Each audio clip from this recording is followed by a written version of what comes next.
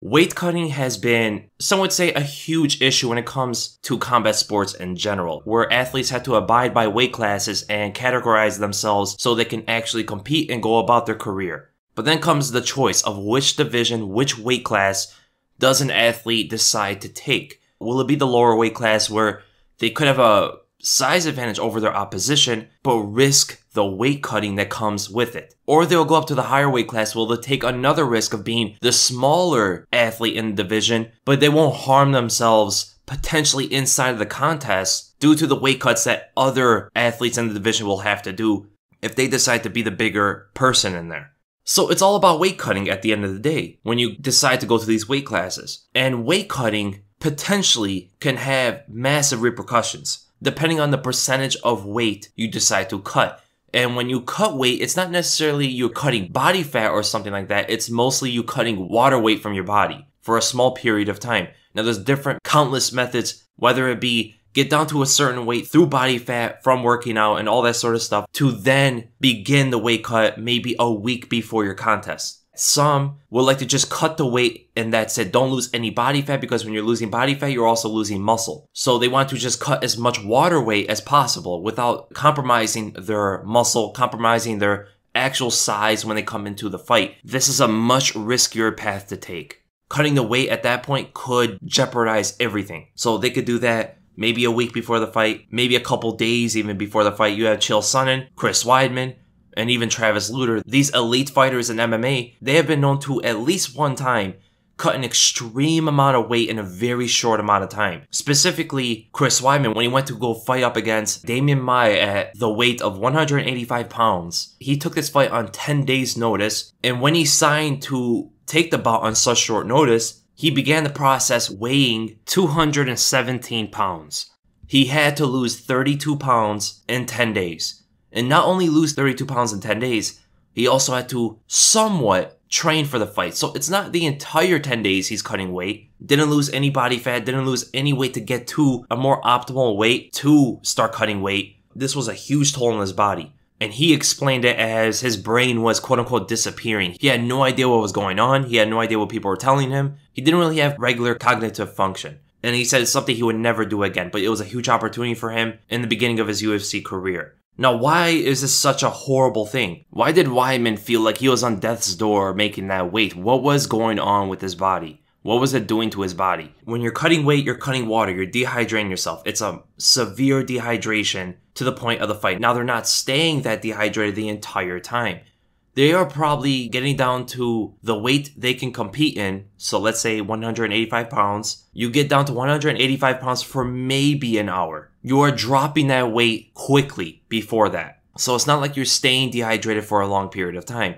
Very short period of time, but the process to get there is terrifying. Now, water makes up about 60% of the human body, so it's a very important thing for your body to function, especially for your kidneys, because water enables your kidneys to filter blood and balance things like potassium and sodium, which allows it to function. And another huge component when you're losing the water is you could potentially get heat strokes, you lose the bodily function of, of cooling yourself off from heat and that is sweat. You lose your ability to sweat, which loses the ability to cool yourself off from heat. This is why you sweat when you work out. You sweat when your natural body temperature rises. You get it when you have flus, you get it when you work out. And in order to do this, we need water in our body. So when you're dehydrated through cutting weight, you don't sweat anymore. You eventually lose your ability to sweat if the water you're cutting is a high amount, which is why you hear people like Ronda Rousey, Paige VanZant, when they lose their ability to sweat, they see it as they don't know what else to do to cut the weight because when you lose your ability to sweat, you have really dehydrated your body from water. And when you dehydrate your body that much,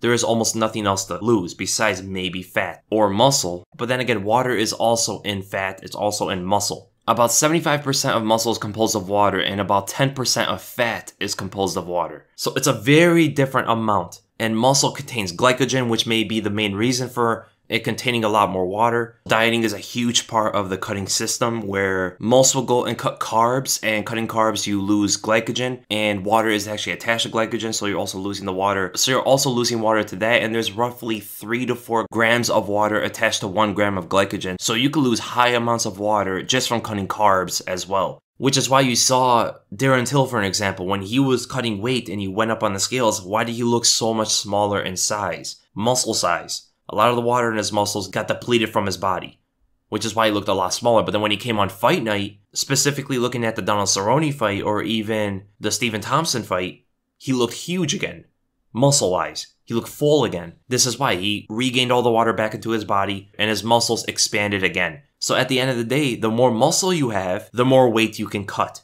This is why people like Gleison Tibau, for an example, can cut to 155 pounds and come into fight night at around 185. Even some rumors where he came up to 192 against Terry Etim. But that I think is just a rumor, which is absolutely insane. And this is why you see people like maybe Georges St. Pierre, who has more lean muscle, isn't the biggest kind of fighter, isn't someone like Gleison Tibau, where he has very low body fat. It's going to be a lot hard for him to cut the weight naturally, just like everybody else does through dehydration he's going to need more of a process. And this is also his body type. He isn't so much of a mesomorph where they are naturally more muscular, naturally can develop more muscle than other people can, than let's say an ectomorph or an endomorph.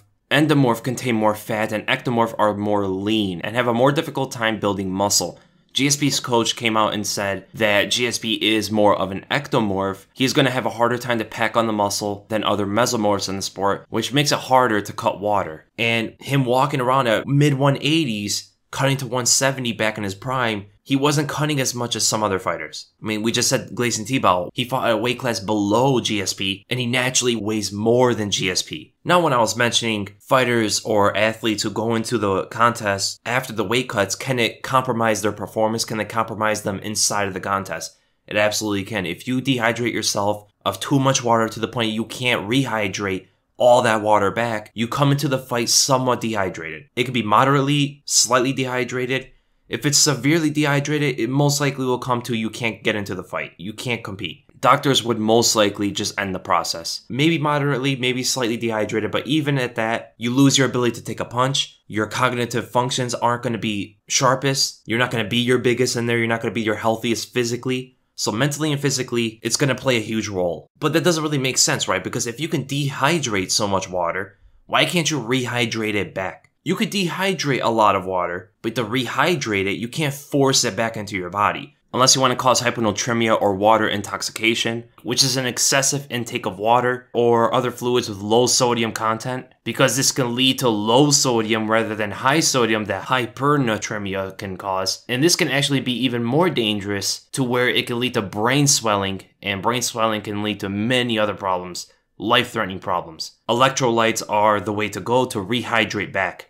So if you lose, let's say 30 pounds within 10 days, like Chris Weidman did, or let's say 25 pounds just to keep it more moderately, even though that's a crazy amount as well. You can't force all that 25 pounds of water back into yourself. And a great analogy that Nicholas Rizzo made, who is a president and a board member of the Association of Ringside Physicians, he said cutting weight and then rehydrating is almost like a sponge, right? You can force out the water, but you can only rehydrate or take in the water to the sponge's speed. In a sense, you can lose water a lot easier than gaining it back, which leads you to go into the fight maybe dehydrated. And what happens to your brain when it's dehydrated? I made a video about the science behind getting knocked out or taking a big blow to the head and what happens to the brain, what happens to the meninges and all that sort of stuff, the fluid that's protecting the brain from hitting the walls inside the skull. Well, when you lose the water, you lose that as well. Makes it a lot easier for the brain to slosh inside your skull and hit the walls and potentially get knocked out. Concussions will happen a lot easier, and because of this, the risk of CTE also increases just because of your weight cut. Where if you have the fluid around the brain to protect it and keep it in place, if you're not dehydrated,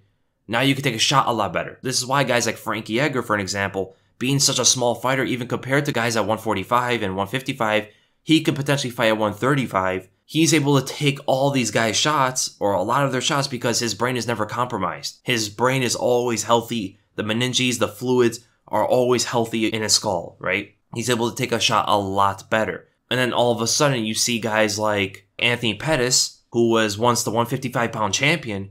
He went down to 145, which was a drastic weight cut for him, and he fought Max Holloway, who is now the best 145er in the entire division and the toughness and the chin of Anthony Pettis was always very strong. He was never hurt his entire career whenever you look back at it. The only time he was really hurt was when he cut down to 145 and fought Max Holloway. He couldn't take the shots like he normally could. The body shots also did him in. Getting hit to the body, this also works itself.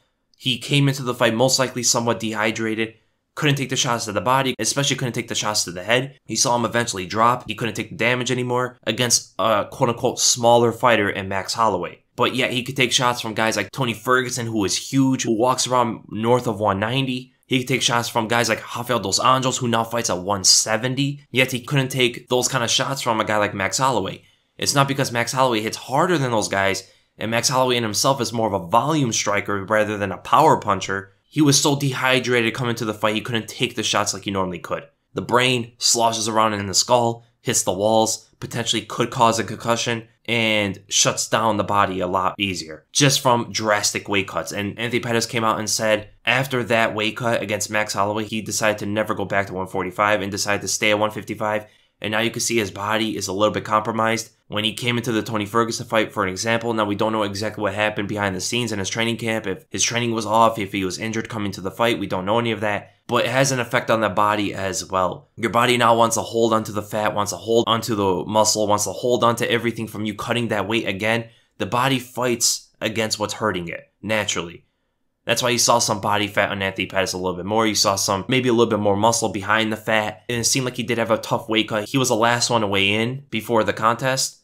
And Anthony Pettis used to always make 155 very easily. He walks around usually at around maybe mid 170s, right? He's not even one of the bigger guys there. Guys like Khabib Nurmagomedov, who is a champion of the division, can walk around north of 190. Same thing with Tony Ferguson. So comparing to those guys, Anthony Pettis isn't really that big. And he said after the cut to 145, he ballooned up. His body wanted to hold all the weight in. He ballooned up all the way to 205 pounds, which he said he has never came close to before in his entire life, which made this weight cut a lot harder for him. Which is why a guy like Roy Jones Jr. in boxing, one of the all-time greats in boxing, he was playing around with weight classes, playing around with cutting weight. He started as a middleweight, which is 154 pounds. Then he went up to super middleweight, which is 160 pounds. Then he went up to light heavyweight, which is 175 pounds. Then he went up to heavyweight to plus 200 pounds. Back down to light heavyweight, which is around 175 pounds. Then he went up to cruiserweight a little bit more, so he really was changing weight classes, and his body did not like it and a lot of other terrible things can happen. We have seen deaths in combat sports related to weight cuts. It's mostly because they can't take the shot afterward. They come into the fight with cognitive functions completely off, motor mechanics completely off, can't see the punches coming, can't react to the punches, and now the brain can't even take the shot. You are completely made of glass at that point, and those shots can have life threatening consequences. So I hope you guys enjoyed the video and I hope you're able to learn from this video. I know I did, I do a lot of research for this and I was able to learn some stuff about this that really puts a lot of things in perspective. Weight cutting is absolutely no joke. This is why fighters say that the weight cuts are harder than the actual fights themselves. I hope you guys enjoyed this and if you did, make sure to give it a thumbs up. If you enjoyed my content, make sure to subscribe. So again, thank you guys so much for watching and I'll see you in the next video.